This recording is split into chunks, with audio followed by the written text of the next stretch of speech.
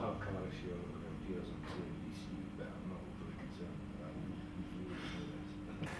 Well, representing the company's chief executive that has just launched the world's most expensive whisky at £100,000 for a single bottle, it's a great accolade personally. It's clearly a great accolade for the company. And it's the continuation of a long journey we've been on with the Dalmore to develop ever increasingly rare and prestigious single bottle whiskies.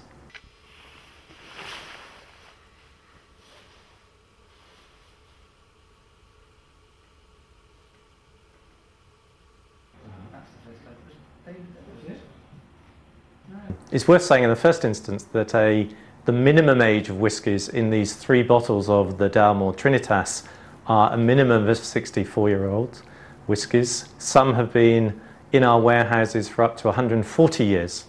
And we've taken those whiskies, we've then matured them in casks, and then we've found the finest engravers, the finest bottle manufacturers put, to put together the package of the Dalmore Trinitas.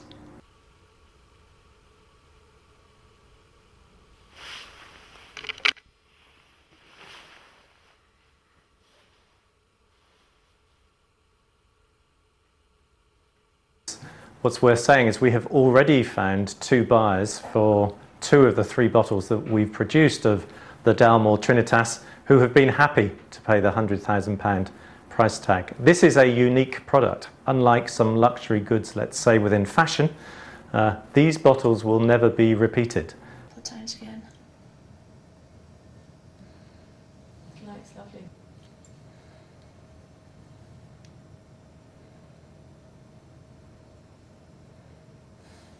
To me, price doesn't matter. It's a lot of money, you know, we've invested in the bottle, but for me, it I've bought it more for what it is. I like the packaging. I think the liquid is fantastic. It encompasses luxury. Um, that's what really appealed to me, and it'll go into the collection um, like any other bottle. And price for me is not important.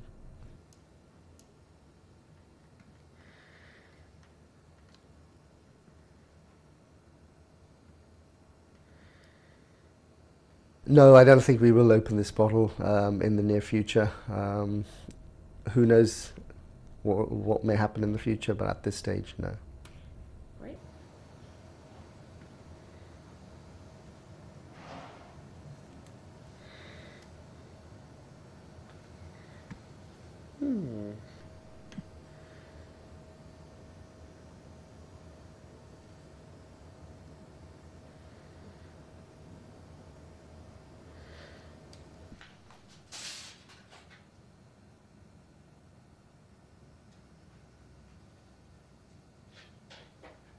This spirit was born in 1868, 1878, 1926, 1939.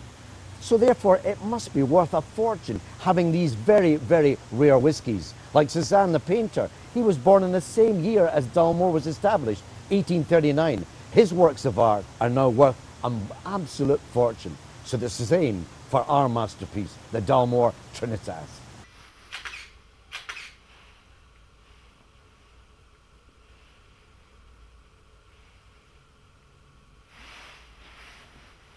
The preparation of the Dalmore Trinitas, 64 years old, didn't just happen overnight. It took years, literally hundreds of years. I could say I've actually worked with it all my life. And what it depend on? Having one great thing, and that is the right wood.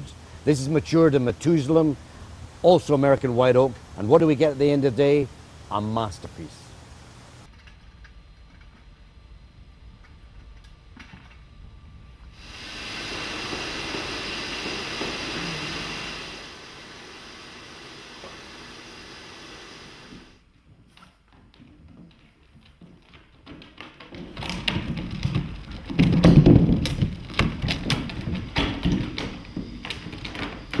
uh, very proud that uh, Dalmore is now producing the, the most expensive whisky in the world.